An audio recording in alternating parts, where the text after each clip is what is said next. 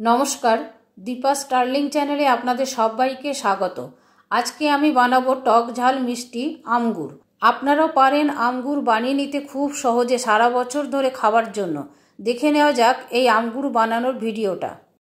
আমি আটশো গ্রাম কাঁচা আমের আচার বানাবো, সেই জন্য আমগুলো দুটো প্লেটে ডিভাইড করে রেখেছি। আলাদা আলাদাভাবে নুন, হলুদ মাখিয়ে নেব। আমগুলোর খোসা ছাড়িয়ে টুকরো টুকরো করে ভালো করে জল দিয়ে ধুয়ে জলটা ঝরিয়ে রেখেছি। জল একদম থাকা চলবে না, তাহলে আচার বেশি দিন থাকবে না। একটা প্লেটের আমি নুন হলুদ মাখানো হয়ে গেল, আরেকটা প্লেটের আমিও নুন হলুদ মাখিয়ে নেব। আমি দুটো প্লেটে ডিভাইড করে নুন হলুদ মাখালাম, চট করে শুকিয়ে যাবে সেই জন্য দুই তিন ঘণ্টা আমি রোদ্রে শুকোতে দেব, পাখার হাওয়াতে শুকিয়ে নিলেও কোনো অসুবিধে নেই। তিন ঘণ্টা রোদ্রে শুকোনোর পর একটা প্লেটের মধ্যে সব আমগুলো আমি নিয়ে নিয়েছি। এখন ভাজা মশলা বানাবার জন্য প্যানের মধ্যে দিলাম এক টেবিল চামচ মেথি আর কয়েকটা শুকনো লঙ্কা।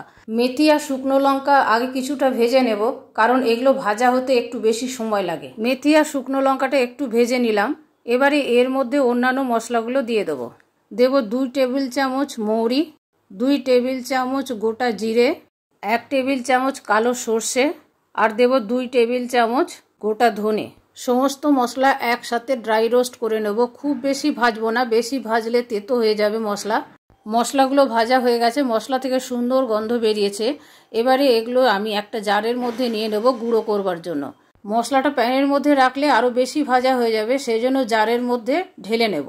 আপনারা আগে প্লেটের মধ্যে ঢেলে নিয়েও মশলাটা ঠান্ডা করে নিতে পারেন। কড়াইয়ের মধ্যে দেবো সর্ষের তেল, তেলটা বেশি পরিমাণে দিতে হবে। তেলটা গরম হয়ে গেলে এর মধ্যে আমগুলো দিয়ে দেব। আমটা দেওয়ার পর তেলের মধ্যে নাড়াচাড়া করে নেব। এতে আমের গায়ে যদি জল থাকে সেটাও শুকিয়ে যাবে। একটু নাড়াচাড়া করার পর ঢাকা দিয়ে দেবো গ্যাসের ফ্লেম সিম করে আমগুলো একটু সেদ্ধ হবে। দু মিনিট পরে ঢাকাটা খুলবো। আমগুলো অল্প একটু সেদ্ধ হয়েছে দেখেই বোঝা যাচ্ছে তবু আমি চেক করে নেব। আমগুলো এইভাবে একটু ভাপ দিয়ে নিতে হবে, বেশি সেদ্ধ করা যাবে না। বেশি সেদ্ধ হলে গলে যাবে। গুড় আমের আম একটু গোটা গোটা থাকে। যতটা সেদ্ধ হওয়ার প্রয়োজন ততটা সেদ্ধ হয়ে গেছে দু মিনিটে। আমি আটশো গ্রাম আমের জন্য ছশো গ্রাম আখের গুড় এর মধ্যে দিয়ে দেব। আম যদি বেশি টক হয়, তাহলে গুড়ের পরিমাণটা সমান সমান দিতে হবে। আমি যে আমগুলো নিয়েছি, সেই আমগুলো বেশি টক নয় সেই জন্য আমি আটশো গ্রামের জন্য ছশো গ্রাম গুড় দিলাম। গুড়টা দেওয়ার পর এরকমভাবে নেড়ে যাব, যতক্ষণ না গুড়টা মেল্ট হয় ততক্ষণ পর্যন্ত। গুড়টা মেল্ট হয়ে গেছে, এখন আমি এইভাবে নেড়ে যাব, যতক্ষণ পর্যন্ত পাকটা না হয় গুড়ের।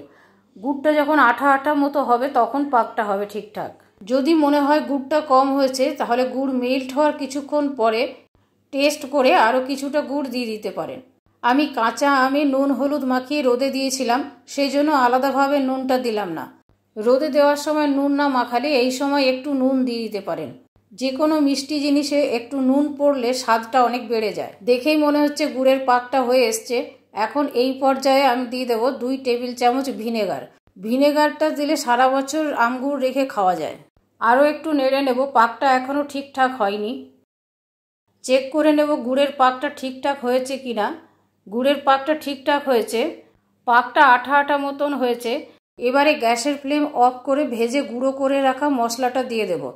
মশলাটা মিহি করে গুঁড়ো করে নিই, দানা দানা মতো আছে মশলাটায়। এরকমভাবেই মশলাটা গুঁড়ো করতে হবে।